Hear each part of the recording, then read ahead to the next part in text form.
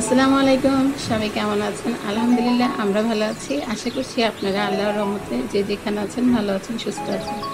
আজ আমি আপনাদের দেখাবো হচ্ছে তেলাপিয়া মাছের ভর্তা। এর জন্য আমি এখানে শুকনো মরিচ ইউজ করব।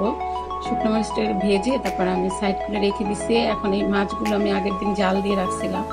সেই মাছগুলোকে একটু ভেজে নেব, একটু ভেজে রেখে দিচ্ছি তারপর হচ্ছে এখানে পেঁয়াজ আর হচ্ছে আপনার রসুন, এই দুইটা আমি একটু ভেজে নেব এখন।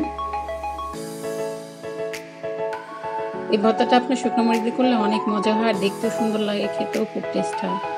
তারপর হচ্ছে যে আমার ভাজা হয়ে গেছে, এখন আমি এই মাছ মানে কাটা ছাড়াবো এখান থেকে।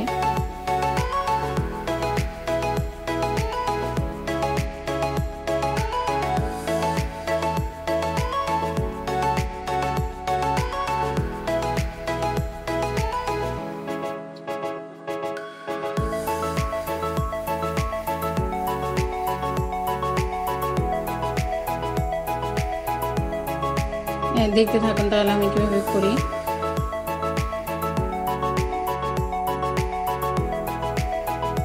আর আপনার তেলাপিয়া মাছের মধ্যে আপনার তেমন কাটাও থাকে না, অল্প কাটা থাকে, বড় বড় কাটাও থাকে।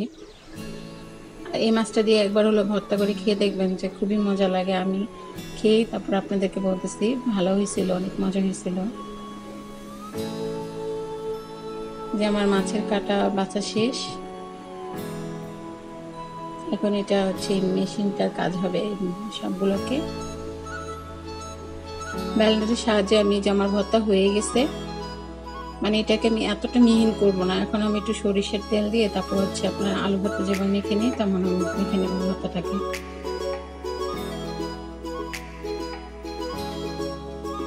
আর অবশ্যই যখন আপনারা ভাজবেন, তখন সয়াবিন তেল চাইলেও ইউজ করতে পারেন। তারপর হচ্ছে সরিষার তেলও চাইলে ইউজ করতে পারেন। আমি লাস্টে একটু সরিষার তেল দিয়ে নিচ্ছি। এই যে আমার ভর্তা রেডি ভর্তা হয়ে গেছে। দেখেন কালারটা কত সুন্দর হয়েছে।